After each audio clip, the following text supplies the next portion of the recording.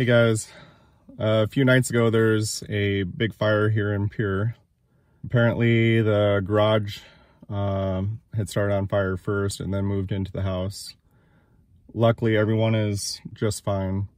The dog had alerted the family of the fire and they got out safely.